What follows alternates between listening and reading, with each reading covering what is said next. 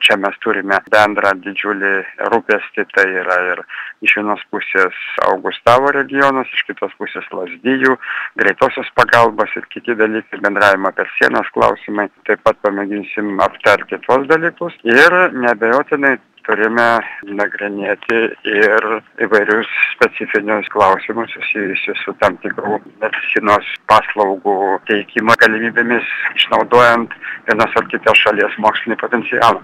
Gal to bendravimo buvo nedaug. Mano nuomone dabar iš tiesų atsiranda gera proga ypatingai kaip paminėjau kad pasikeitusios teisinės sąlygos europos sąjungoje aptarti bendravimo per sienas klausimus abipus sienų lietuvos ir lenkijos valstybės ir kitus klausimus